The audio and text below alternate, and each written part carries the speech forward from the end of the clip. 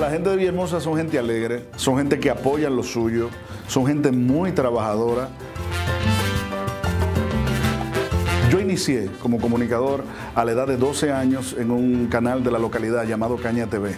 Eh, de ahí entré como aprendiz técnico y en el proceso hicimos nuestro propio programa de televisión llamado Solo Noticias, que es el que se transmite actualmente de 1 a 3 de la tarde, de lunes a viernes. Mi aporte más grande es llevarme mi barrio, a mi medio. Yo siento que el barrio me aporta a mí y que yo le aporto al barrio eh, con lo que nosotros hacemos diariamente.